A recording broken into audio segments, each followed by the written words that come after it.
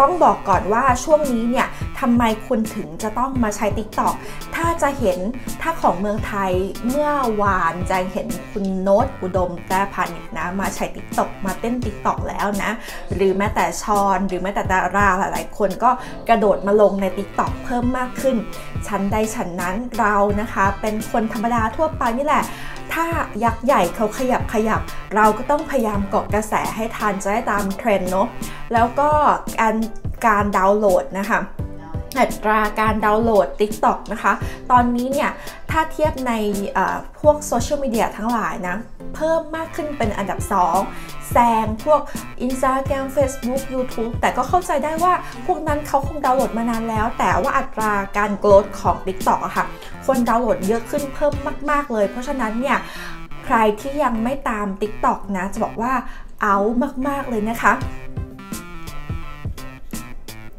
สวัสดีค่ะยินดีต้อนรับเข้าสู่ช่อง Jasmine J 569 นะคะ เพราะว่าช่องนี้ไม่ได้มีดีแค่การดูดวงนะ ยังมีเนื้อหาสาระคอนเทนต์ดีๆ มาฝากกันด้วยนะคะ ช่วงนี้แจงจะฮิต TikTok มาก เพราะว่าแจงก็พยายามจะปั้น TikTok ให้สำเร็จนะคะ เพราะฉะนั้นตัวแจงเองเนี่ยค่ะ ก็ได้ไปหาข้อมูลมานะคะ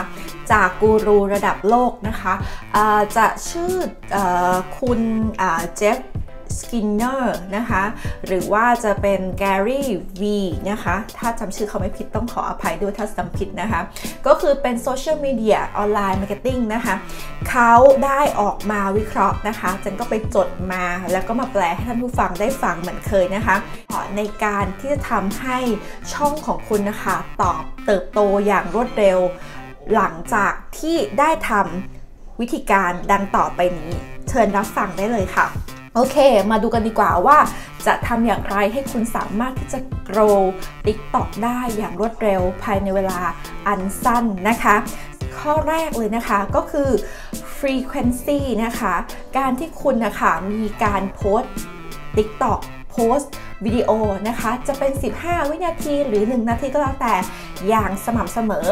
แต่ในการสม่ำเสมออย่างนี้นะ เขาบอกว่าควรจะโพสต์วันหนึ่งอะประมาณ 3-5 วิดีโอ แล้วในวิดีโอ 3-5 วิดีโอด้วยกันเนี้ยค่ะ ไม่ควรที่จะโพสต์เวลานี้5วิดีโอเลยแบบเนี้ยไม่ควรนะ ซึ่งแจงอะทำแบบนั้นเนาะจริง ๆ ไม่ควรทำแบบนี้นะคะ ควรที่จะกระจายนะคะ เช่นอาจจะเป็น 2 ทุ่มอาจจะเป็น 8 โมงเช้า อาจจะเป็นบ่าย 2 อันนี้คือสมมุติ แต่เป็นเวลาที่คุณต้องทำการทดสอบแล้วอะค่ะ ว่าช่วงเวลานั้นเนี่ยมีคนดูเยอะ เช่นถ้าของที่ประเทศไทยใช่ไหมสองทุ่มคนดูเยอะใช่ไหมแล้วก็เท่าที่แจงฟังมา การดูไลน์แอดในช่วงนี้นะคะ ลองทำดูก็ได้นะ เผื่อว่าเป็นแนวทางช่วงบ่ายสามโมงนะคะ คนอ่านไลน์แอดเยอะ เอ้ยบางทีเขาอาจจะดูเเขาจะมีเวลาพักผ่อนเยอะเขาอาจจะใช้ TikTok เยอะก็ได้บ่ายสามหนึ่งทุ่มนะคะ แล้วก็8โมงเช้านะคะ ลองดูนะคะ 3 เวลานี้เผื่อใครทำแล้วประสบความสำเร็จก็มาแชร์ต่อกันได้ แต่อันนี้พอดีจะไปฟังอีกซอสหนึ่งมา แล้วเขาบอกว่าเวลานี้ค่ะ ที่เป็นการที่คนไปใช้ไลน์อ่านข้อมูลทางไลน์เยอะขึ้นนะคะ ก็ลองดูนะ1ทุ่มบ่าย3นะคะ แล้วก็8โมงเช้านะคะ แล้วก็ ข้อที่2นะคะเทรนด์นะคะก็คือการทำตามเทรนด์อันนี้ใครตามมาฟังของแจงแจงก็เคยเล่าให้ฟังไปแล้วเดี๋ยวเราจะฟังให้รอบนะคะ ก็คือการที่คุณเข้าไปที่หน้าหลักของคุณ แล้วกดคำว่า discover นะคะ discover นะคะ เข้าไปปั๊บปั๊บขึ้นไหมเอ่ย อขึ้นปั๊บจะเห็นได้ว่าแฮชแท็กต่างๆ ที่มันขึ้นตรงนี้นะคะ อยากให้คุณนะคะ ลองคิดธีมของตัวเองซิว่าเฮ้ยฉันเป็นธีมนี้ ฉันจะสามารถทำอะไรให้มีแฮชแท็กประมาณนี้เกิดขึ้นได้บ้าง สมมุติอันแรกอาจเป็น travel throwback นะคะ เราอาจจะสมมุติการสอนภาษาอังกฤษ อันนี้เป็นภาษาไทย สอนภาษาไทยภาษาอังกฤษ อันนี้สมมุติ คุณอาจจะต้องสร้างธีมของวิดีโอของคุณนะคะ ให้คุณสามารถที่จะโพสต์แฮชแท็กนี้ได้นะคะแล้วหรือมันจะทำให้วิดีโอของคุณนะคะ มีการเข้าถึงได้เพิ่มมากขึ้นนะคะ ที่จะเห็นเนี่ยเป็น mm drop เนาะแล้วก็มีอะไรอีกนะคะ minute tutorial นะคะ เนี่ยลองดูนะคะ ต้องทำตามเทรนด์นะคะ เกาะกระแสนะคะ หรือแม้แต่การทำ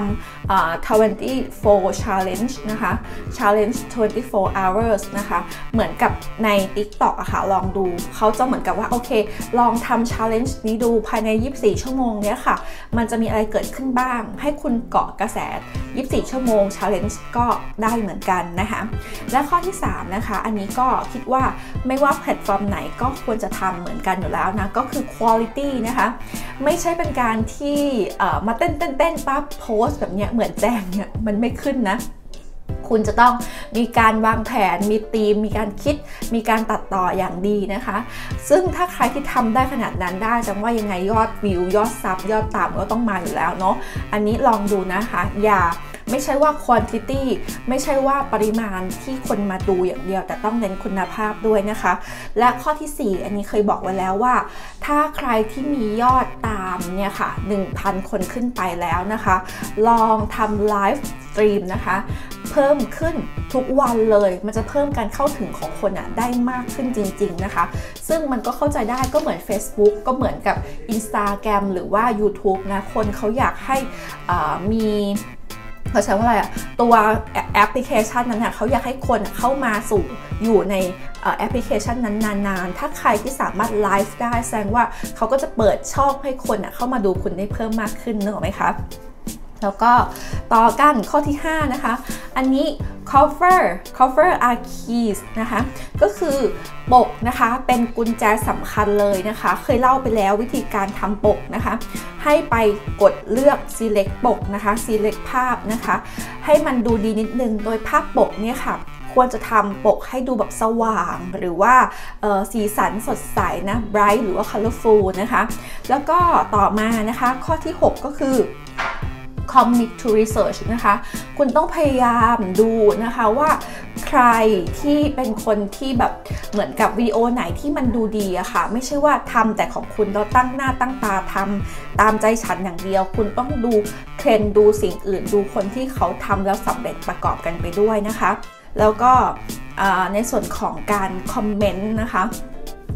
การคอมเมนต์เนี่ยต้องขอให้คุณนะคะ ไปตอบคอมเมนต์นะคะ มีปฏิสัมพันธ์กับเขาด้วยเนาะไม่ใช่เป็นการที่แบบเฮ้ยเขามาเมนแล้วเราแบบไม่ตอบกลับเขาแบบเนี้ยไม่ได้นะคะ แล้วก็ข้อต่อมานะคะก็คือการดูเอ็ดนะคะ ดูเอ็ดเนี่ย